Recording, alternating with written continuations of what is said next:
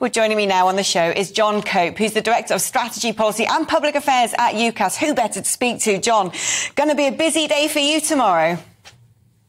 Yeah, absolutely. And uh, the, what we're seeing uh, is the record demand uh, for university. We're seeing record demand uh, for apprenticeships. But you're right, this year is completely different to previous years because this this group of young people, you know, they've had a really tough time. They've never done high stakes exams before. They missed their GCSE exams because of the pandemic, um, so they are having a different experience. And you're also right that in the last two years, they have um, people have had teacher assessed grades, whereas this year people have done exams, they've got proper um, moderated uh, results, which means that you know we are expecting fewer people to get the top grades.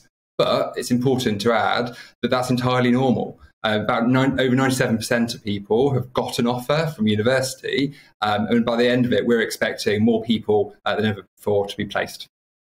So how about do you go? How do you go about the process of a very tearful teen who looks at the letters on their uh, results paper and thinks, "I haven't made it. I don't get to go to a particular institution that I really have pinned my hopes on. What do I do now?"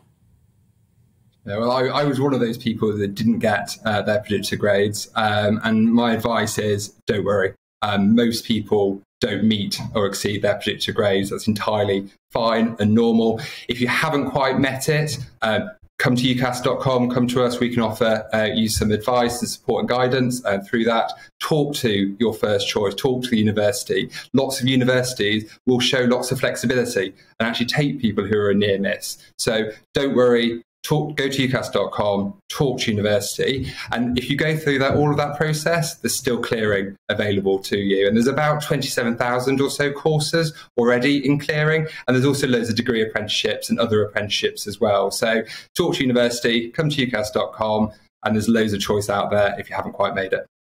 The great academic musical chairs. Um, but do you think that there is, uh, you know, your, your boss has said that she wants to see more students steered towards doing apprenticeships, sort of real world training rather than just academic degrees because there's far more demand than there are places. I mean, is that because there are fewer places, more students?